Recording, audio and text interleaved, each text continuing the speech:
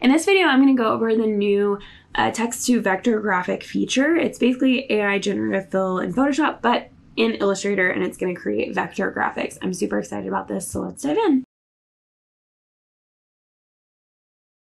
Hi, I'm Laney. I'm a wedding invitation designer. I love to teach people how to use graphic design programs and run successful stationery businesses.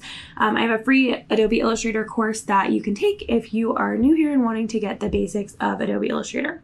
But I'm super excited about this new it's kind of generative fill as we've done in photoshop you've been seeing that all over but this is basically the illustrator version and it's important to understand the difference between raster and vector graphics before you dive into this so if you're new check out that free illustrator course it's going to explain all of that information. Um, it's going to help you figure that out. I have a cold today, so sorry my voice sounds weird.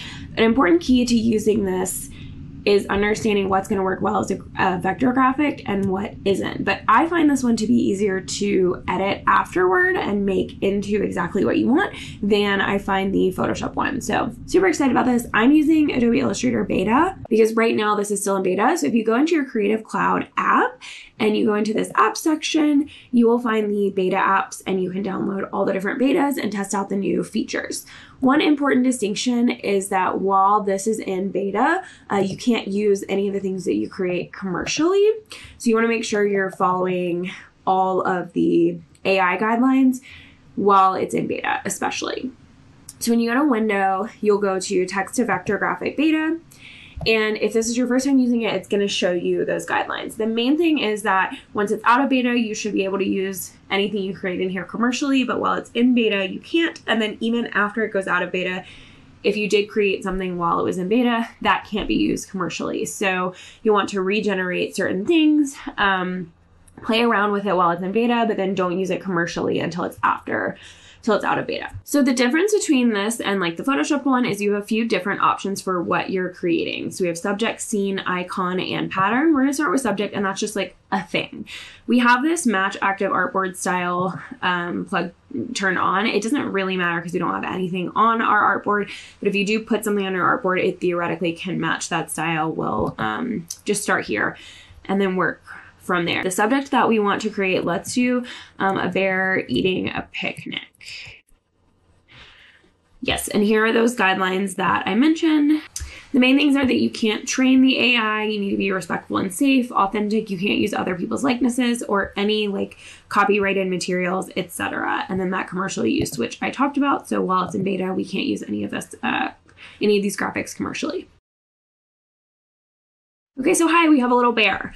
Um, there's a few things. It's it's very AI. Like you can tell, it's like why is this foot not filled in? But because it's a vector graphic and these are all close paths, it'd be really easy to fill in that foot and add the three little toe beans in there. So I think um, you'll see some things that are kind of weird. It's like, okay, what is this bear eating? What kind of basket is this? Um, but it would be actually really easy to fix some of these things. So these guys are pretty cute. Um, we'll play with it a little bit more. Okay, super cute. Love these. Honestly, they're very cute. This one's really cute. I love them. Um, this blanket looks a little weird. You're gonna find that with AI, and you're gonna find that when you kind of start to zoom in on things, it's like that's not exactly a real type of food. But okay. Um, so a subject is just gonna be subject. Right now that we've done subject, let's try a scene. Those are always gonna be like square or rectangle we can draw a rectangle if we want it to fill that. And then let's say um, camping on a beach with a fire. All right, this is pretty cute. Um, this one is pretty cute. The sunset's a little weird. This one's adorable. Honestly, I could just put a little poster on here. My sun is a little wonky, but it would be so easy to fix that. Um, these trees are coming over a little far, but it'd be super easy to fix that. And this is honestly really cute. So that's what the scene is like. Um, I find the scenes to be pretty cute in my in my experience. Um, and then we have the icon as the third option. Let's do a flamingo. Okay, legs are kind of weird. Pretty cute though. Again, legs are kind of weird, but wouldn't be super hard to fix. Honestly, these are pretty cute. It's not bad at all. And then if we liked this one and we kind of turn on that matching active artboard style and we're going to match this. And then we did like palm tree. Theoretically, it's going to match the style of the one that we have selected. See how it does. The icons I find are a little bit simpler and I'm I've been really impressed with them. Um, to some extent, I consider icons to be even simpler than this, uh, but it'd be really easy to get rid of uh, some of some of the detail in this very very easily. Okay, that is very strange. This one is kind of cute. I wouldn't say it's exactly the style of that one. Um, so I do find that interesting. This one's kind of cute. Who knows? We gotta just play with this. And then you can also do like change the detail in uh, your prompts by changing this detail setting. Um, but I do think, you know, for icons, to me, these are already a little too detailed. So I would even turn it lower personally. And then we have patterns, which are going to take the most um, RAM. They've been stressing out my computer a little bit. So I'm just going to restart for you here. All right, the pattern ones are really fun. I like to draw a rectangle beforehand, and then every time you click on one, it adds it as a swatch to your document. You may or may not know that swatches add to like the size and functionality of your document. So if you have these kind of intense vector graphics with like lots of anchor points like these are creating and you have a bunch of swatches, it might start to slow down. So um, I hope as we get out of beta, this will change a little bit. Um, but if not, just kind of keep an eye on that because the more pattern swatches you have in your document in general, um, the more RAM it's going to take up and the harder, the larger that document's going to be. I do have a video about lowering the size of your documents in Adobe Illustrator if you want to check that out. So let's describe our pattern. What should we do? We should do like candy and fruit pattern with rainbow colors. I have found the patterns to be honestly the most fun. And I think if you're trying to generate um, kind of simple elements, like even to make your own pattern, or I'm an imitation designer to make imitations or something, it's cool to do a pattern because what you'll see is it will create like several different options. Um, so we did candy and fruits. It's gonna it's gonna probably create several different like candy and fruit options, and then we can like choose which ones we like or which ones are more realistic, and go from there. This one is very odd, actually. Let's see. Okay, this one's kind of cute. So, for instance, like the strawberry is kind of cute, the tomato is kind of cute, the banana is kind of cute. Um, this little flower inside another thing is pretty cute. They don't actually really look like um, candies to some extent. Uh, the little lemon slice is cute, but you could separate this out and use some of those elements to create your own pattern. Like this apple that's like half one color and half another color doesn't really make sense. This maybe strawberry that's just a triangle with a leaf um, doesn't really make a lot of sense, but you could take some of these elements and use them in your own creations. These kind of look like candy. We're going to try again because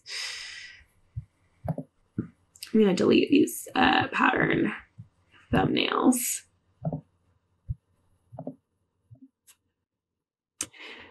Let's do, let's see, um, beach, day, palm, springs, see what we get here. Okay, so this is pretty cute. We've got some flowers, some hats, beach bag, um, what's I think supposed to be beach chairs, flip flops, palm trees, pineapples. Kind of cute. This one is also kind of cute. There's some things in here you might want to use. There's some things in here you also might want to fix. So, like, this is supposed to be, I think, a bathing suit, and it looks a little wonky. It looks very AI, uh, but you could kind of fix that and use that individually. So these are all kind of interesting. Um, let's try.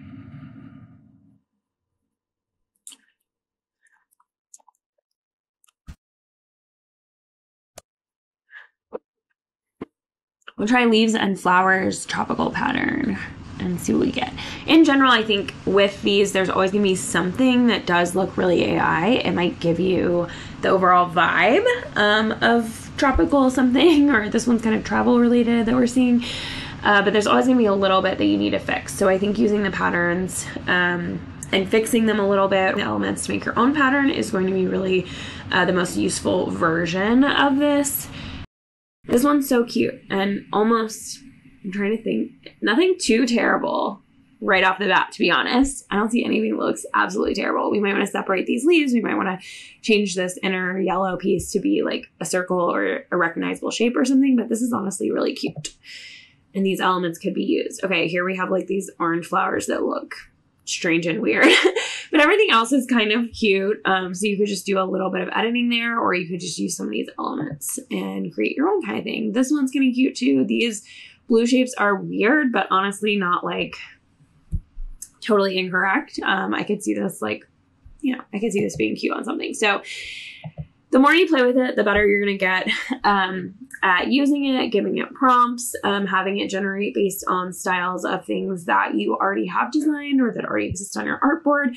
So I'm really excited in general about this. And I think for me, just I work in Illustrator so much, it feels easier to change. As an example, changing this little yellow piece to be a circle or a shape more like this just feels so much easier than doing something in Photoshop where you then have to like carefully delete, remove it, change things.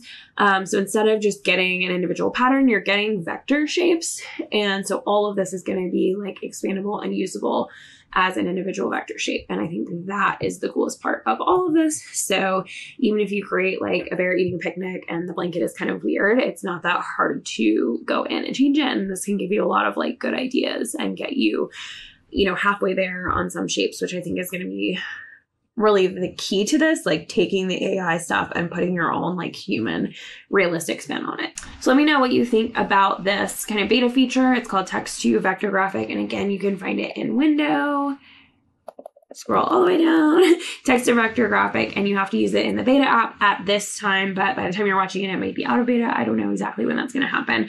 Uh, and then you can use everything commercially as long as you're following those general AI user guidelines from Adobe. Let me know what questions you have. If you're new to Adobe and you want to learn how to use Illustrator, specifically, I create wedding invitations. So that's the spin that a lot of my content has. Um, we have a free course that will last seven days. You'll get like a 10 minute video every day directly to your inbox that will teach you how to set up files, work with fonts, shapes, draw things, um, work with colors, etc., and just like customize your entire Illustrator experience. So I hope you check that out. I'll link in the description for you. Thanks for watching. Let me know what you thought of this video, and I hope you'll stick around and watch some more.